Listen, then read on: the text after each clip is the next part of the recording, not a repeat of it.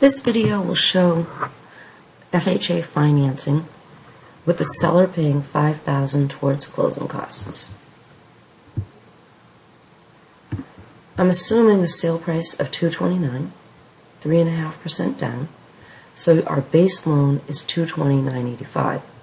But FHA has an upfront mortgage insurance premium, that's what MIP stands for, of 1.75%, and that gets rolled into the loan. The monthly payment is based on today's rate of three and a quarter and a 30-year term. So the amount needed to repay the loan, the principal and interest on the loan, is 978.57. For this particular house, the property taxes are 50, 6204. So you pay one twelfth of the tax every month as part of your mortgage, so that gets rolled in the loan. I'm assuming 900 for insurance. You really buy the insurance wherever you want, and so whatever the insurance is divided by 12, that'll be part of your payment. And then FHA has a monthly mortgage insurance, and that is 0.85% of the loan balance divided by 12. So over time, that payment goes down as your loan balance goes down. So when we add them all together, your total payment is $17.29 and 84 cents. Cash to close. The down payment plus the closing costs plus the prepaid expenses is what you need oops, what you need to close. Okay, 15 5 12. In this example, I assume that we'd negotiate for the seller to pay 5000 so you need 10512 to close.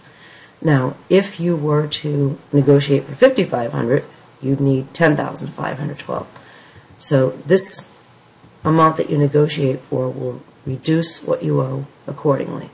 If the seller paid zero, you'd need 15,512. But if the seller paid five, you'd need 10,512. Now, when you make your offer, the realtor is going to ask you to give a check, a deposit. So I'm assuming you give a thousand, then you pay 500 for home inspection, 500 for appraisal, and the balance is due at closing. Now let's kind of take a look at the um,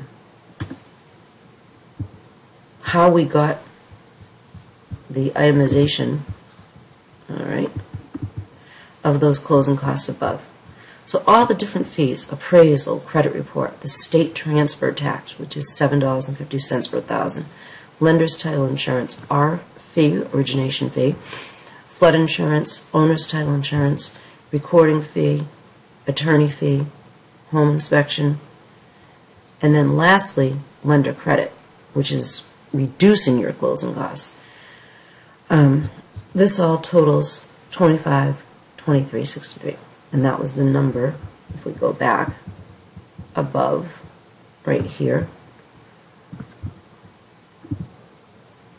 And then we have the prepaid items, which are taxes, insurance, and interest, and they all totaled 49.73. So these fees that you see in this section um, are not additional. They're just now showing you the detail of how I came up with the numbers up here. And of course, I have to say that this is not a loan approval or anything like that. Rates can change. Um, but this is just meant to give you an illustration of how things work.